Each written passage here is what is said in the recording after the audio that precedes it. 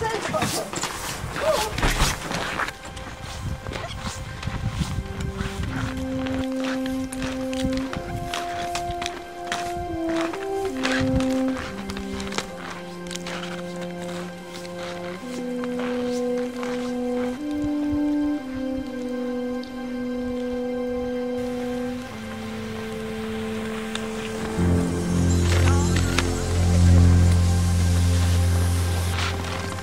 Så fik vi tøj på og støvler på, så vi kunne komme herop, så fik vi Og så skal vi.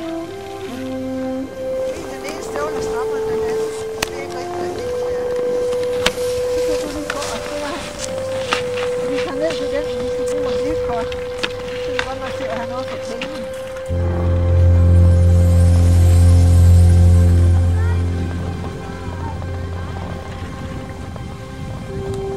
Annika, hun sov godt, så, så lad hende bare ligge. Så tager vi vores ski, og så smutter vi op, op til min løjpe ind gennem skoven.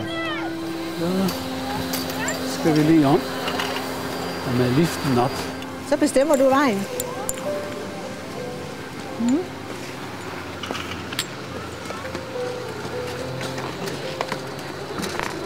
Det er det her dyre liftkort, der lige skal tjekkes her. Det er vi talt med. Der var den, fik den lige. Og det giver ordentlig ryg her lige til at begynde med. Øj, og så på bakken her. Øj, Normalt så skinner solen her. Så man næsten ikke kan se for bare sol. men i går der gik det rent galt, fordi der var der en stor flok sk- skiskoleelever, sådan nogle små nogen, ligesom, ligesom øh, Rebecca. Lige pludselig så holdt de op, de var nok en halv hundrede stykker, og så får de lige tværs over liften her, mens vi kørte op. Så der var en af de små der, der kørte lige ind foran mig, så jeg var... Jamen altså, han, han væltede, og jeg var nødt til at slippe og tallerkenliften her og smide mig ned også, så han ikke skulle komme til skade ved noget. Den første af, der tog vi slet ikke køre på. Der kørte vi på den anden, der var så langsom, så langsom. Og det, er næsten ikke, det kan vi slet ikke holde ud til mere.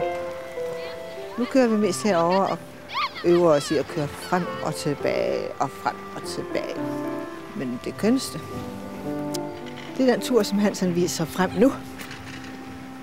Vi skal lige lidt længere op. Så hvis solen nu lige vil bryde igennem, så bliver det bare det flotteste af alt flot. Så står her sådan nogle store firkantede kasser her med nogle søde ansigter på. Det er sådan nogle holdepladser, hvor dem, der skal undervises, de kan holde, og så kan de køre nedad, mens de får noget undervisning. Nu kommer vi til bakken, hvor vi skal give slip. Vi ser og kører rundt. Så, så kom væk, og mor, og hun kan komme til også. En dejlig lille bane her. Ind gennem høje, ranke græntræer. Det er sådan en dejlig tur. Så skal jeg sådan lidt over til højre her.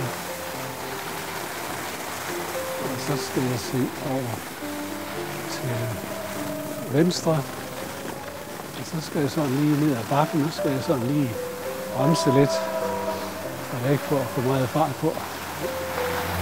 Så skal jeg den her vej ned.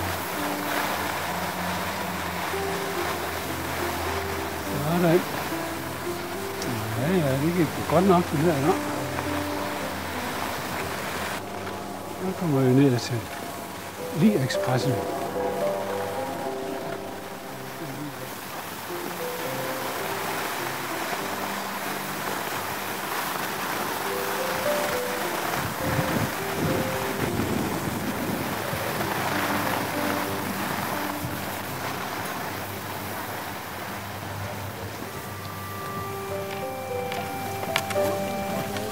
Hvad siger du?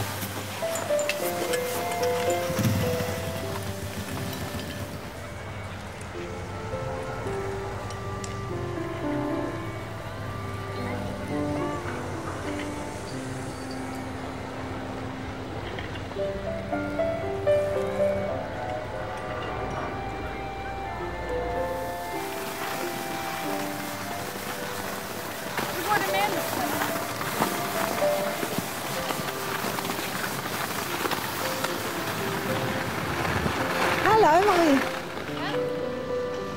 Hej, hej. Det fik du ikke at se. Og det gjorde Tina heller ikke. Hvad fik jeg ikke at se? Hvordan man kommer ned hen ved Expressen. Det var noget rigtig godt. Ja. Det er god til. Ja, er det ikke også en fin tur? Jo. Jeg synes bare, den er så køn og så dejlig med alle de sving. Og, I op med tallerken lidt? Jeg synes, at hvor kan være, ikke komme ned derovre. nej, nej. Du kan jo køre med en tur. Vi skal have taget et billede, så man kan se alle os, vi var på skiferie sammen. Så mormor og bedstefar og Esther og Jens og Katrine og Tine og Maria og Thomas og Jens og Bolette og... Ja. Alle høje mennesker, stil jer lige her. Alle børn går lige lidt frem.